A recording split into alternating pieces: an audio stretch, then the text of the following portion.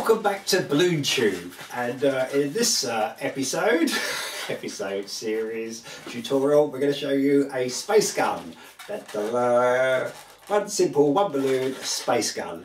Uh, if I could ask you to subscribe down the bottom that would be great and uh, I'm putting instructions up on um, Balloon Chat as well which is a forum that I run so you might want to have a look there to get some finer details or there might be some variations posted. Right, so to make your um, space gun, you need three fingers uninflated.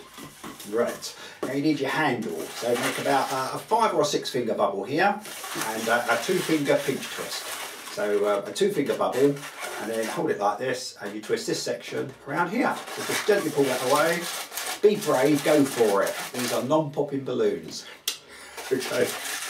And then you need um, a fold loop twist, all right? And I find that if you do about um, a five finger fold twist, uh, that's a little bit too big, about there, then the uh, 260 balloon will fit through quite nicely. So wrap that around the pinch twist. You need a spacer bubble here, so a Tora three finger bubble there. Uh, another um, five finger, that's six, that's a little bit too much, so go back to about up to five there.